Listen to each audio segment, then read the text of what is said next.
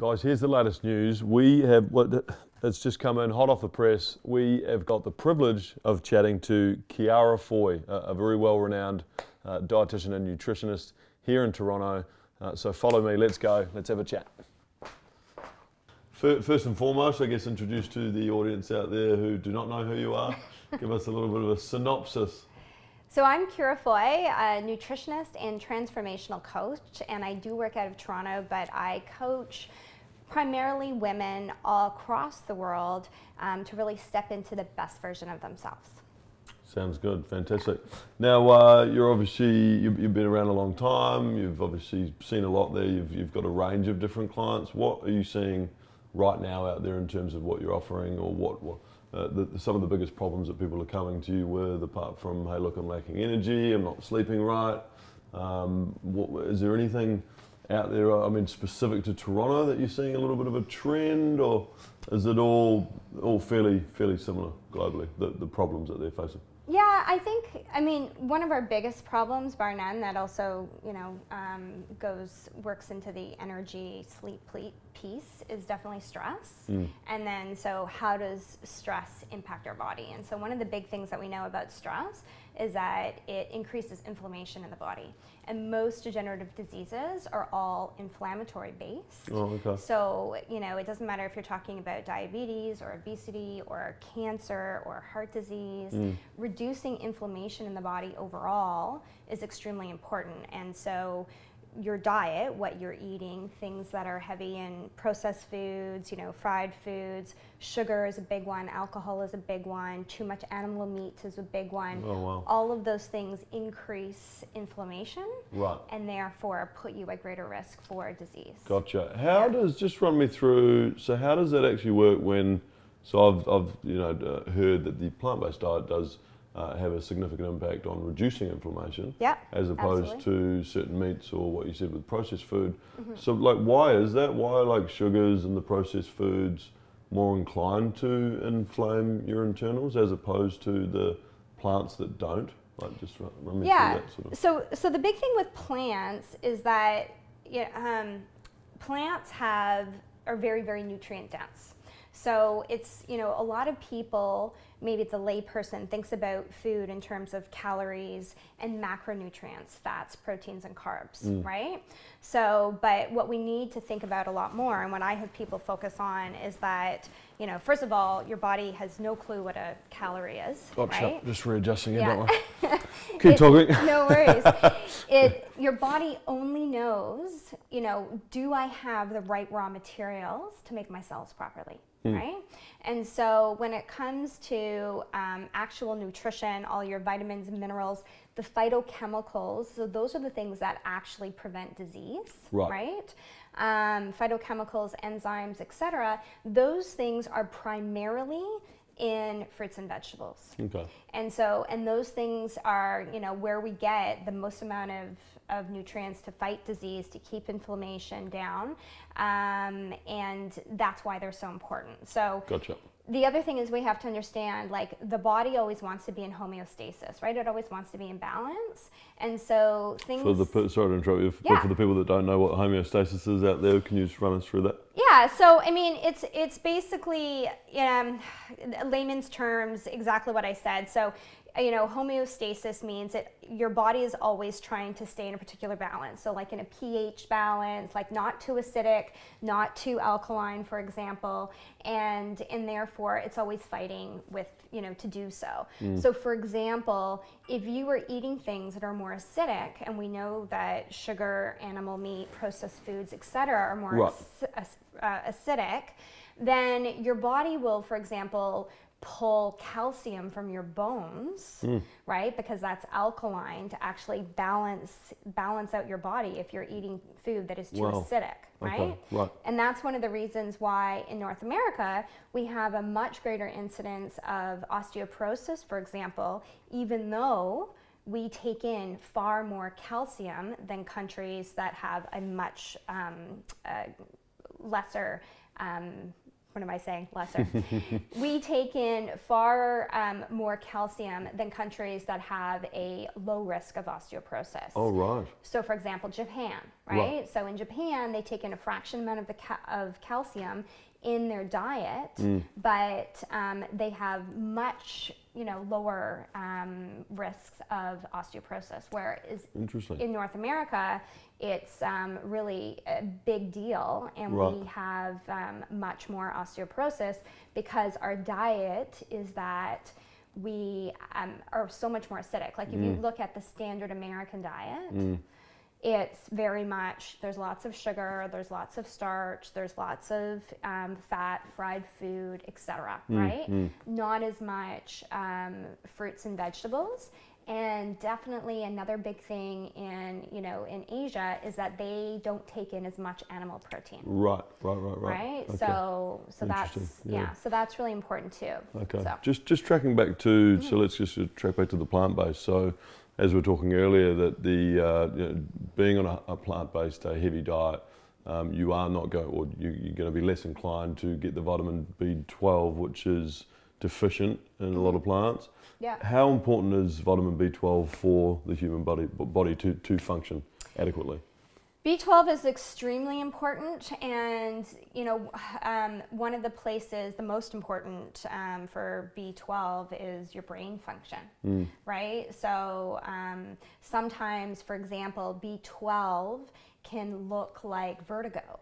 Oh my God. Because it makes people very dizzy. Wow. Um, yeah. Okay. So sometimes people might think that they have vertigo, but actually um, there's similar symptoms of low B12. Interesting. Is there a Yeah. difference between vertigo and just general dizziness? I mean, vertigo is literally when it goes 180 or 360, right? Yeah. As opposed to dizziness is yeah, feeling Just dizzy, but the you're you're still neutral in terms of the vision. I, yeah, so I've I'm not an expert vertigo, on but yeah, yeah. I've never we're di- it either. digressing over to vertigo now. Yeah, aren't we talking about nutrition here? Yeah. Yeah. I understand you're not a vertigo doctor. No, that's Yeah. fine. We can digress. Yeah. Um, It's just one of those things that is um, is very much, I would say, like with vertigo, it's not like your low blood sugar where you're feeling a little nauseous. Gotcha. It's really um, an inability to be able to, you know, um, balance, like to feel like steady at Okay, all, okay. right? Gotcha, so gotcha, gotcha. it's much more debilitating than just kind of Right. feeling a little lightheaded, nauseous. Gotcha. Okay, good.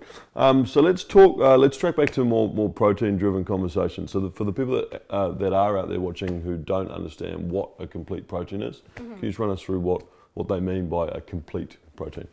So a complete protein means that it has all the essential amino acids in that particular protein. So animal proteins are all complete proteins. Uh, they all have the right animal, or sorry, um, amino acid profile. Um, however, there are only a few complete proteins in the plant world Right. Gotcha. right? Okay. So that's um, that's the big difference there. So things that are complete proteins, the biggest one in the plant world is soy, Right. right? So that's number one. Um, arguably, quinoa is also a complete protein. Um, it doesn't have a large amount of protein. Like you can't, you don't consider it a protein because it's mostly carbohydrates. However, it has those essential amino acids, Yeah. right? Okay. Great. Great. Um, so what Oh, sorry. Yeah, you, ju- you just mentioned soy, and I just wanted to touch on it because it was prevalent to a study that I was reading recently. Uh, there's some negative news around soy. What, what's your take on, on that? What, what is, why is everyone talking about the negative impacts on soy right now? Yeah, so uh, funny. Um, there has been controversy around soy since I started school, right? So you're going back um, well over a decade. Um, I did over 40 hours of research on soy um, for when I was doing my co op with Dr. Joey Shulman in 2005.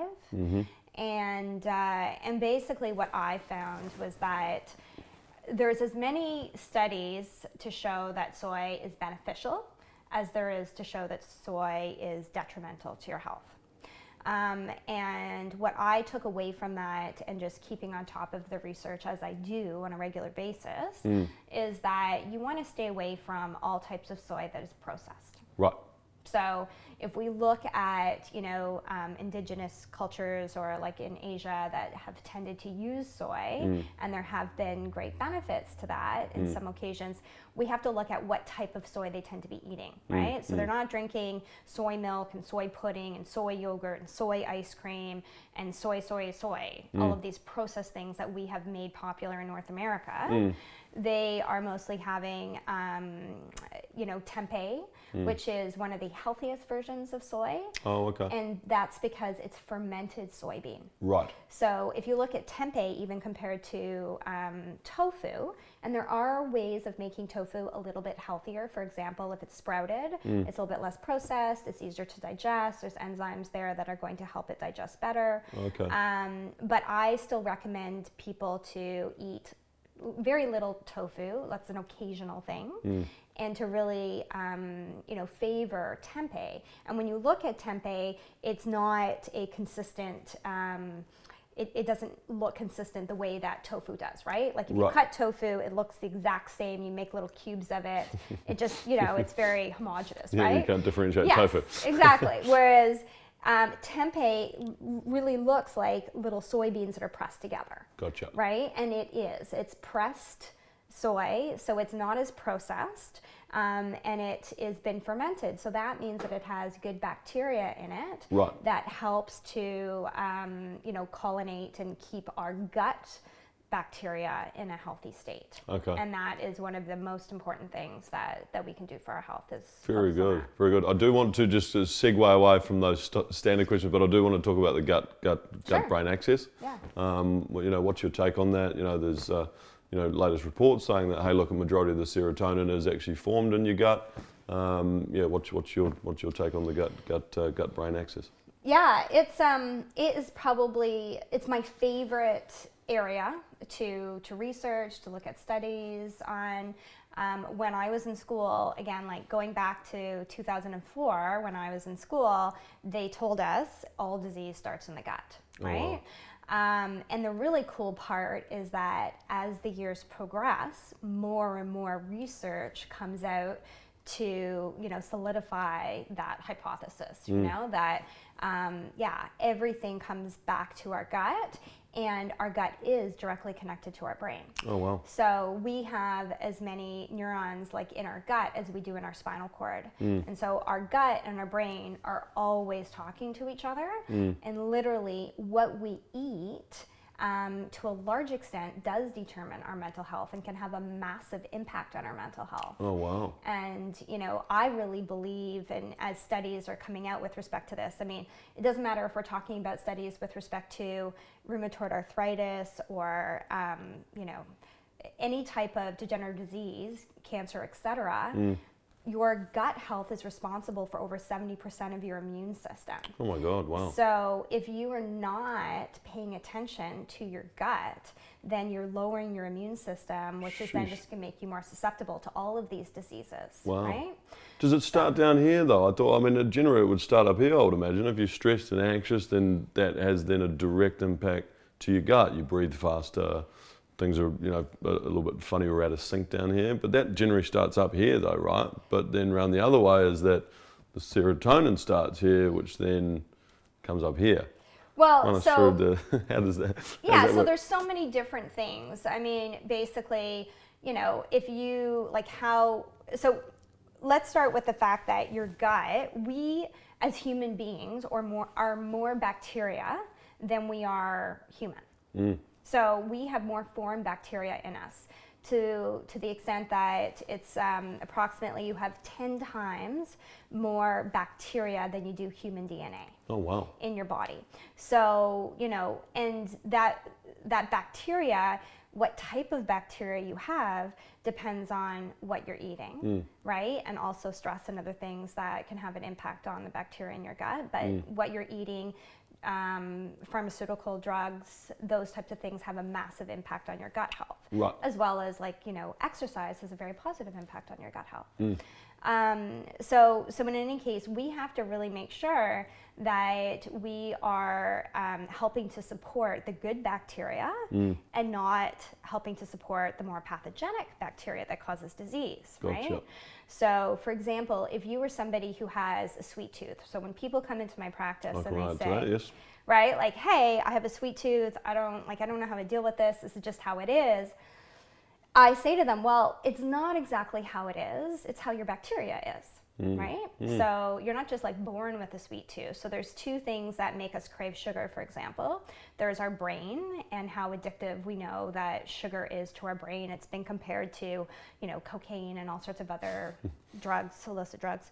Um, however, the other part of that is that, you know, our bacteria is living, growing, you know, it wants to survive. Mm. And so if you were eating a lot of sugar, you're mm. supporting bacteria mm. that survive on that sugar, Wow. right? So that's a living thing. So it is going to send you cravings for sugar so that it can survive, right? The same as any animal Geez, or human. Fascinating, yeah. So Yeah. are you born with a bacteria that is more inclined to be craving sugar? Is that how that works? It Or have they developed that over time? So yeah, the type of bacteria you have is going to, and we can talk about, you know, at birth, and there's some really interesting studies there too. Um, but so it's going to be determined through so many different factors, right? So it's going to be determined through what a mother eats when she when she is pregnant. Um, what a mother eats can have an impact on whether a child has a greater propensity for obesity, for example, um, or other diseases, allergies, etc. But then the, the very first time that a baby is exposed to other types of bacteria mm. is when it's born.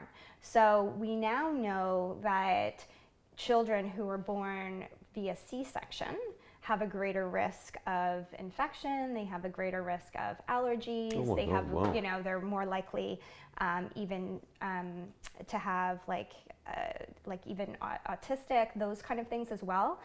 The reason being is because when they are born, they are exposed to the pathogenic bacteria that is in the hospital, right? Wow, okay. So one of the things that increases your risk, like my first, um, I have had a home birth. And the reason why I chose that, because when I looked at the studies, the, the risks are actually less. One of the reasons why the risk can be less is because the foreign bacteria in the hospital is way more risky than the bacteria that's already in your home that you're used to, Wow, right? interesting. because that's where you get super bugs and all that Mm, kind of stuff, right? In the hospital. So what they found is that when a baby goes through the birth canal, it's exposed to the mother's bacteria, Mm. and that's what helps to start cullinating their gut, um, which is called the microbiome. So Mm. your the collection of gut bacteria that makes up your immune system is what we call the microbiome. Right. So, um, and these studies have been so compelling is that there's now new studies coming out about okay, so obviously C sections are necessary, um, you know, a, a, a good amount of the time, and therefore, how do we prevent these babies from being more at risk to disease or infection Wow, or you know, um, asthma, those types of things, right? Um, and so what they're doing is a process, um, experimenting with a process called seeding, which is basically taking the mother's bacteria um, from the birth canal and actually putting it on the baby's face, around their nose and eyes, so that they're exposed to it. Oh my God, wow. So, so that even though they are born via C-section, they have they're trying to mimic what would happen in the birth canal. Oh my God, wow. Yeah. This So is- that's Learn something new every day. it's interesting, right? But that interesting. yeah, that's how um, important our gut and the bacteria that is in our gut um, is to our overall health, Wow, right? And yeah. how that sets a baby up for success Yeah. because of what it does for their immune system. My God. Right? Yeah, And there's such a connection there. Exactly. It's Wow. the same when you when you think about like what a baby, um, you know, if you breastfeed versus formula fed, we know that there are massive benefits. Mm. Well, if you got to look at what's in the formula that's that's feeding the gut bacteria, mostly um, a huge percentage of formula is high fructose corn syrup. Mm, mm. So just sugars. Right? yeah, yeah, yeah. So there's also a lot of sugars in breast milk as well. It is quite sweet, um, Yeah. but obviously not manufactured and with all sorts of other um, health promoting. Well, there's there's talk through. I mean, especially you would have seen what the health, and they're saying that we as humans don't actually need milk. What's, Right. What's your take on that? I, I would agree with that. There's a lot about that. Um, uh, that documentary that I do not agree about, agree Oh yeah, with. yeah, yeah. I mean, the, I the, the cigarettes in the pan sinking with the eggs, like Yeah, that, that is that was like baffling. yeah, it's kind of kind of crazy because we know obviously there's a lot of nutrients. I have no problem with eggs. Um, Is I, it, is it the yolk that's the bad part, or is it the, or the white? I don't believe that there is anything that's bad about it, but the cholesterol that some people are worried about Oh. is in the yolk. Oh. But a lot of the nutrients are in the yolk too, right? Gotcha. Like vitamin A and lutein and a bunch of other great things um, are in are in the yolk. So it's you know we now know that cholesterol. Um, cholesterol is really it's kind of like the the firemen putting out the fire. It's not the cause of disease. Um, it's one of the things that comes into, um, for example, if you if you, have you ever heard of free radicals? I have, yeah.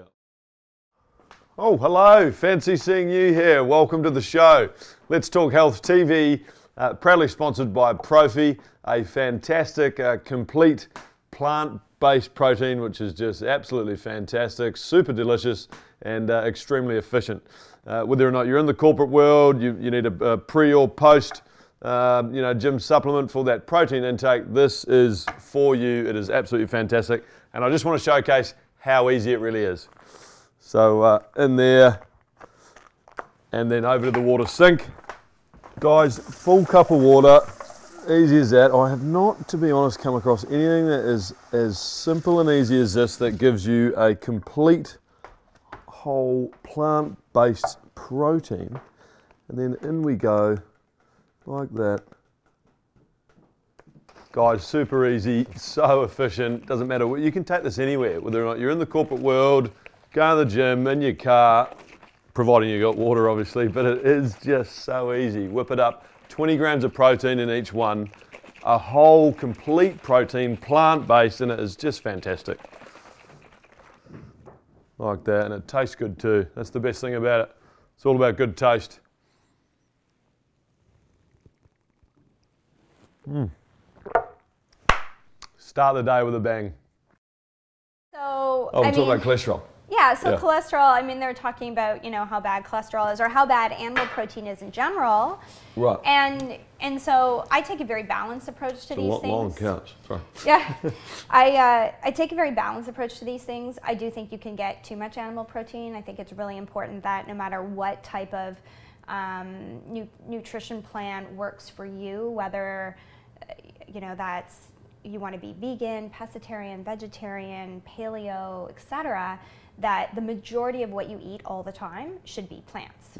Okay, so that should always be um, like that should never change and then those other pieces can change if you want to eat you know eggs or dairy or animal meat or fish or et cetera et cetera right um, What do you, so just to, uh, whilst we're on that topic, what, what do you advise as the transformation period for someone trying to limit the amount of animal products? So let's, let's take a profile where they have literally been and, and, and so used to animal products all up until, let's say, 25. They decide to go plant based. I mean, that's going to be a shock to the system, right? What, what do you advise for someone that is going through that, that transformation period? Yeah, I see a lot of people really go to being more kind of pescatarian first before they go totally plant based. So that would mean that if you're pescatarian, you know, you would eat um, fish and seafood and that type of thing, as well as eggs. Um, and and so and, and dairy, you could also eat that. So that would be one segue of doing that. Um, you know, just taking out red meat, first of all, is also something I see people do quite a bit to just increase their health. Meat, you know, meat, meatless Mondays. yeah, exactly. But I mean, you know, if somebody's working with me, they're generally just eating they're eating a lot more plants. I like to see at least 7 servings of fruits and vegetables every single day. Every single day. Every single day. Oh my God. Yeah. So I'm doing three, so am I, am I at fault here? Yeah, well, there was there was a study back probably 2014 approximately.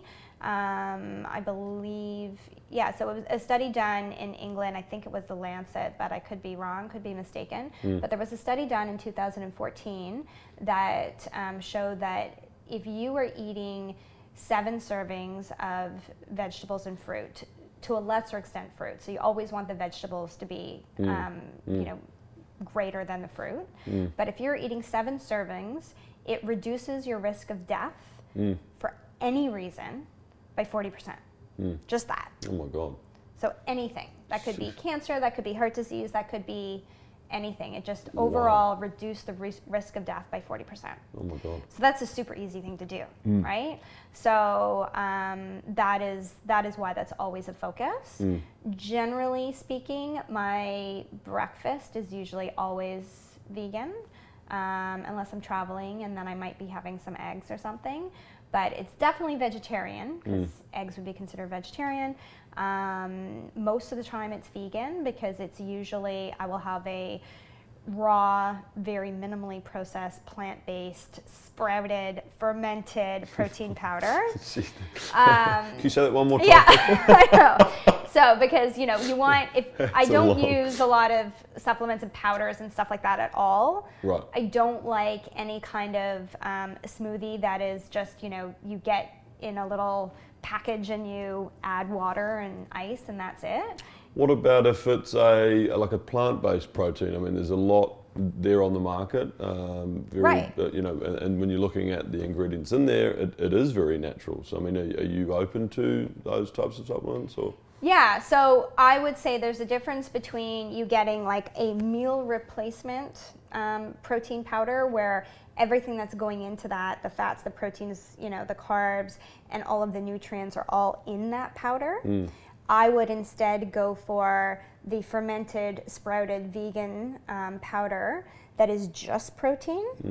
And then you're taking that and then you're adding in your fresh greens, your fresh fruit, Oh, your superfoods like chia or hemp or Quinoa. you know nuts, almond butter. I don't do quinoa, but Oh, you're not fan but of quinoa? yeah, I know I like quinoa, just not in my smoothie. Oh, okay. Um, and and then you're adding, you know, so you're taking, you can put in like five servings of vegetables and fruits Mm. in your smoothie mm. every mm. morning, mm. and that's all whole and fresh. Oh, wow. You're getting all the benefit of that. You're getting all the enzymes, all the phytochemicals.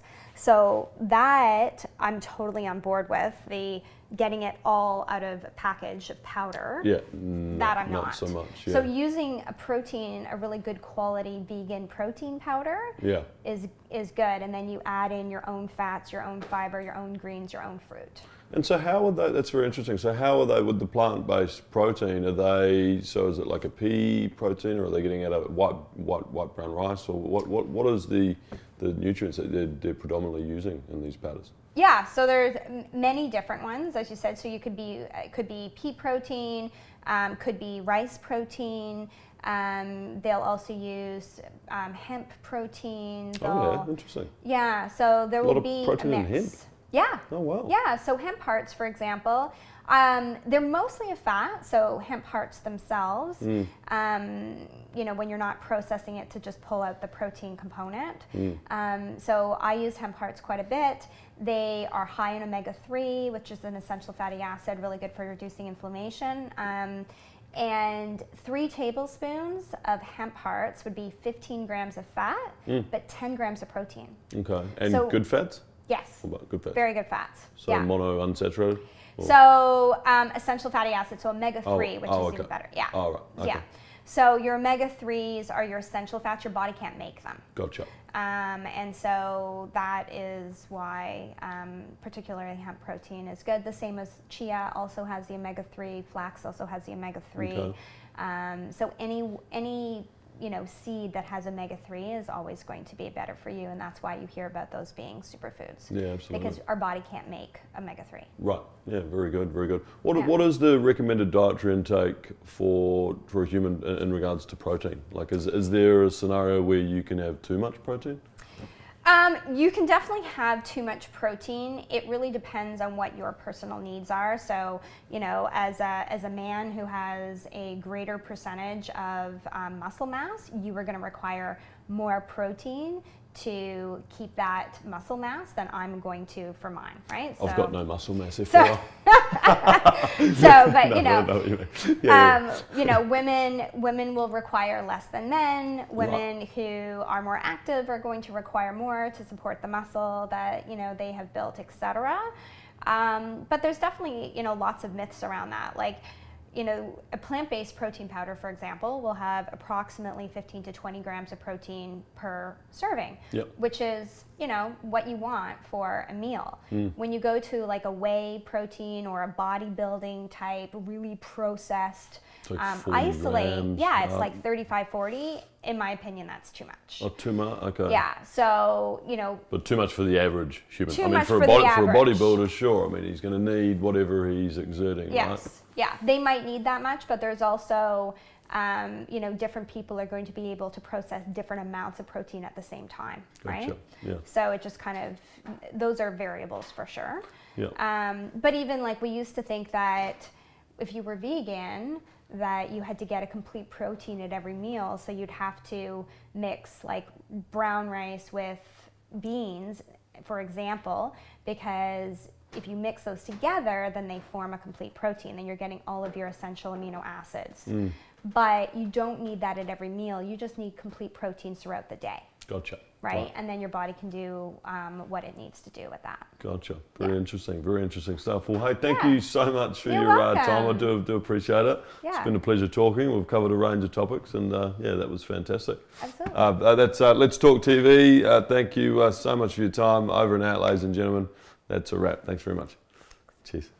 So, guys, that's a wrap. Fantastic. Head along to profiprohealth.com and uh, enjoy yourself a, uh, a complete plant based protein. Thanks for your time and enjoy.